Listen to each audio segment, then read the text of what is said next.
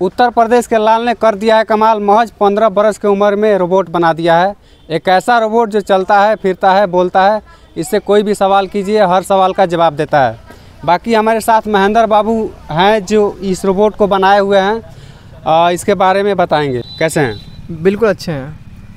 कैसे दिमाग में आ गया कि आप रोबोट बना दिए ये मेरा बचपन से शौक है बनाने का सपना है कि मैं कुछ करूँ अपने देश के लिए तो इसी में रिसर्च मतलब जोड़ तोड़ करता रहता हूँ। तो बनाए इस रोबोट को बनाने में आपको कितना दिन लग गया? लगभग दो महीने लगे हैं। दो महीना? हाँ।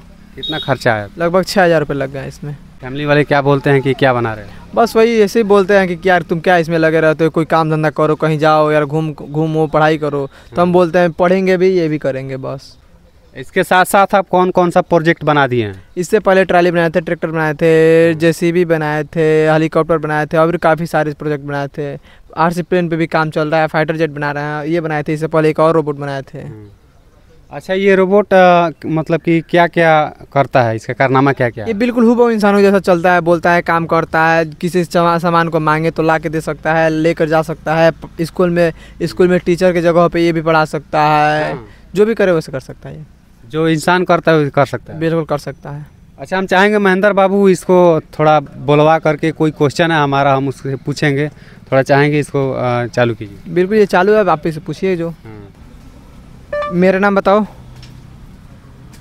आपका नाम कुशवाहा महेंद्र उर्फ़ रोबोट बॉय है। खा- खान सर कौन है? विकिपीडिया के अनुसार फैजल खान को पेशेवर रूप से खान सर के नाम से जाना जाता है पटना। बिहार में स्थित एक भारतीय शिक्षक परोपकारी और यूट्यूबर हैं। मनीष कश्यप कौन है? इंडिया टीवी हिंदी के अनुसार मनीष कश्यप का जन्म 9 मार्च उन्नीस सौ इक्यानवे को पश्चिम चंपारण ज़िले में हुआ। पुणे से इंजीनियरिंग करने के बाद उन्होंने कुछ समय तक नौकरी की। उत्तर प्रदेश की राजधानी कहाँ है? उत्तर प्रदेश की राजधानी लखनऊ है। तुम क्या खाए हो? मुझे खाने के बारे में जानकारी इकट्ठी करने से ही खाने का स्वाद आ जाता है। तुम शादी कब करोगे? मैं इंसान नहीं हूँ मैं कोड से बना हूँ। मेरे इंसानों से तुम मेरा किस प्रकार मदद कर सकते हो? आप कहकर देख सकते हैं यूट्यूब पर योग के ये बताओ तुम तुमको यहाँ से दौड़ा दें तो कहाँ तक जाओगे?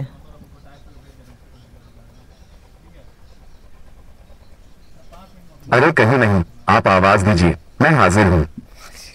कहीं भी जा सकते हैं। तुम कहीं भी जा सकते हो। इमोजी के पकवान खाकर मेरा पेट भर गया है। अगर तुमको मैं अपने साथ लेके जाऊँ तो चलोगे ना? बिल्कुल और अगर आप चाहें तो रास्ता ढूँढने में या फिर मज़ेदार जगह ढूँढने में आपकी मदद भी कर सकता हूँ। अमिताभ बच्चन कौन है? अमिताभ बच्चन कौन है?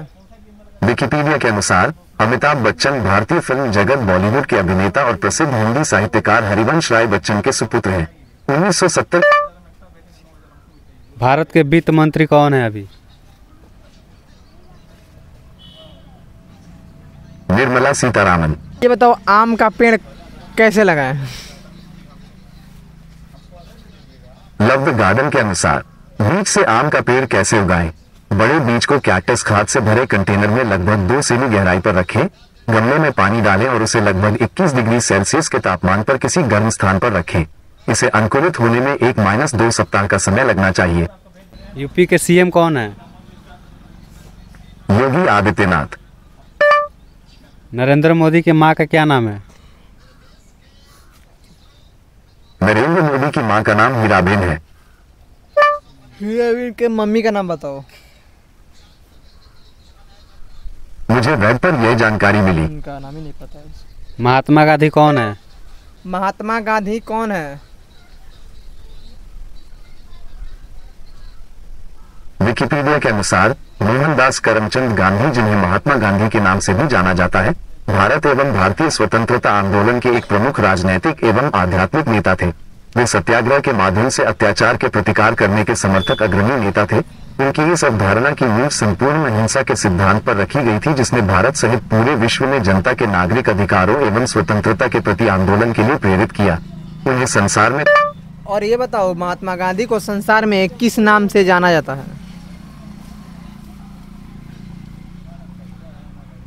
भारत का राष्ट्रीय पोर्टल के अनुसार अहिंसा एवं शांति पर दिए गए बापू के सर्वव्यापी उपदेश आज भी दुनिया भर के लोगों के लिए प्रेरणा का स्रोत है। गांधी जी के जन्म दिवस को प्रत्येक वर्ष गांधी जयंती के रूप में मनाया जाता है।